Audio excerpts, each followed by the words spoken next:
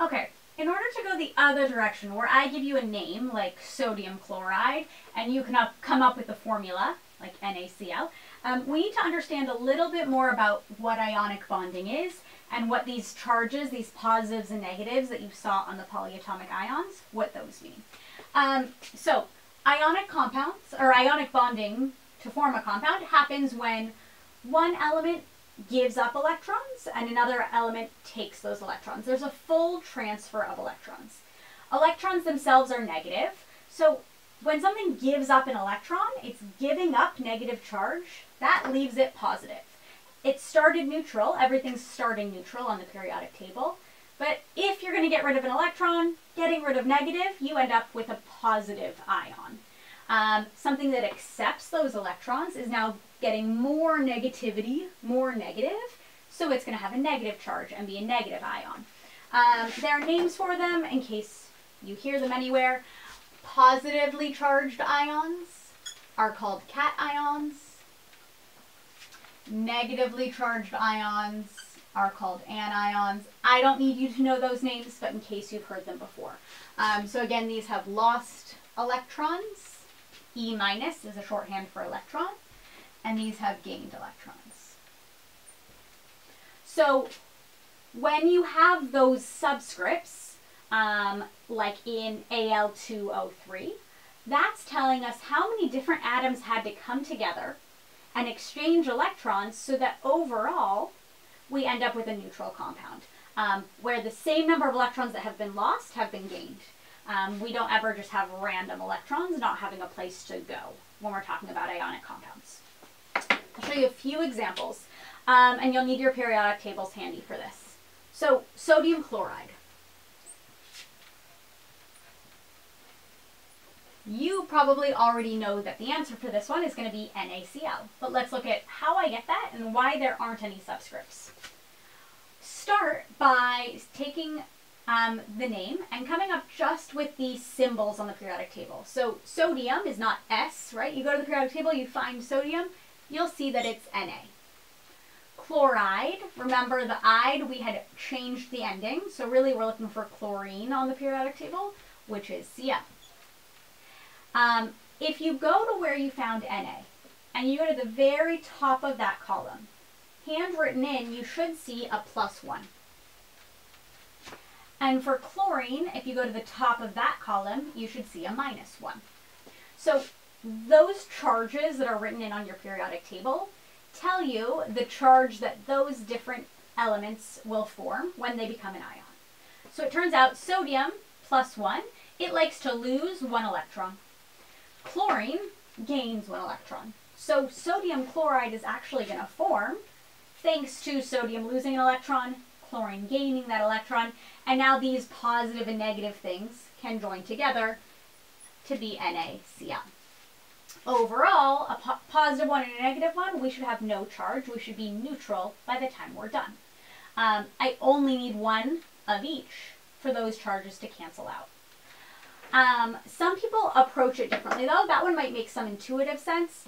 Another way of figuring out how many of each we need to cancel is to do what I call as the crisscross. Okay, so ignoring positive and negative, because we're always going to have one be positive and one be negative, just looking at the numbers of the charges, we can take those numbers and crisscross them into subscripts. So Na should get a subscript of 1, Cl should get a subscript of 1, and 1s as subscripts are implied, so really, I don't even need to show them. That's another shortcut way of just getting to our answer. Going through a bunch of examples, um, be willing to pause and go back, but also be willing to just hear me out. Um, it'll make more sense as you see more examples. Um, another example, magnesium sulfide. So magnesium I find on the periodic table. It's in the second column. I go to the top of that column and I see that it's a plus 2. Sulfide, make sure you know the difference between sulfide and sulfate. Ides are things that are going to be on the periodic table, just elements, not our polyatomic ions, right? We know sulfate is SO4. This is sulfide. So we're just talking S and that's a minus 2. Now, let's say you use my crisscross trick, okay? You'd have MgS. This 2 would crisscross down to the magnesium, and I'll use a different color. This 2 would crisscross down to the sulfur, and we'd have Mg2S2. But we'd have to go one step further and reduce it to just MgS. Because Mg2S2 is saying, oh, I need two magnesiums and two sulfurs. But I don't. One magnesium and one sulfur, that's the same ratio. You'll see ratios matter a lot in chemistry. That's the same ratio. Magnesium can go ahead and lose two electrons. Sulfur can go ahead and gain those two electrons, cancel out, and be neutral. So anytime the charges are the exact same number, you're going to see no subscripts because they balance out. We only need one of each for that transfer to take place evenly. Uh, however, if I see something like calcium nitride, calcium is in the second column. I look at the top, it has a plus two charge. Nitrogen, nitride is nitrogen, is in the fourth column from the right. If you look at the top, it has a minus three charge. This one's harder to think through. Okay, this one's going to lose two electrons, but this needs to gain three. Okay, so if I have two of those, I can lose four electrons, but this one's also only gaining three. Um, if you have a really mathy brain naturally, it might make sense to you, but if not, crisscrossing works.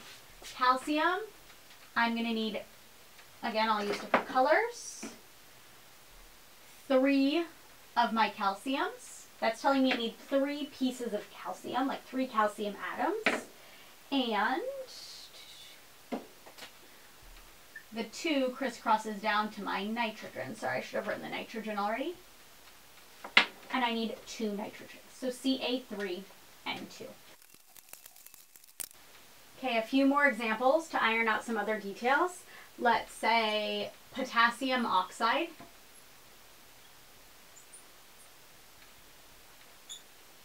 Potassium is K. It has a plus one charge. Oxide is oxygen. It has a minus two charge. If I crisscross, I get K, 2, O. I don't need to write the one. It would be weird if you did write the one. Um, but this means I have two potassium atoms and one oxygen atom. Um, okay. Another one that I'll use, let's do a couple with polyatomics in there. So Let's do ammonium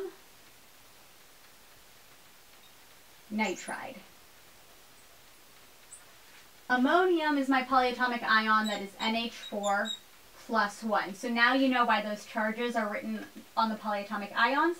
This NH4 group as a whole needs to lose one electron. Nitride is not nitrate, it's just ide, so we're talking the element from the periodic table, nitrogen which is a minus 3. If I go to crisscross, I'm going to only need one nitrogen, but I'm going to need three of this NH4 group. And so the way that I show that I need three of that whole group is by putting the NH4 group in parentheses, and then outside of the parentheses is where I would put that three. That means I need three of this NH4 group. Um, my nitrogen is not in parentheses, and I only have one. I don't need to write the one. Another example, barium hydroxide.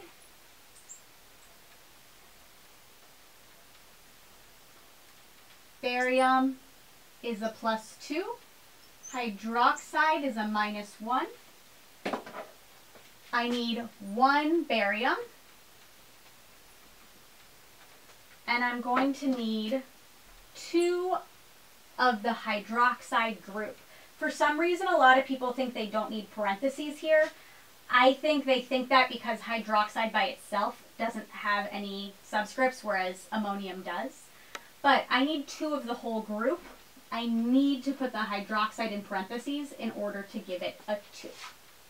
Um, if you aren't giving an additional subscript to the polyatomic ion, then you wouldn't need parentheses. In fact, then it would be weird to do parentheses. Um, let's do potassium hydroxide, or yeah, uh, let's do potassium nitrate, actually. Throw some more examples in there. Potassium's a plus one, nitrate's a minus one. So you can crisscross if you want, but know that the same charge are just going to cancel out. I only need one of each. K, am I still on frame? I think so. Yeah. KNO3, that's one potassium and one nitrate group. I don't need parentheses. Try those.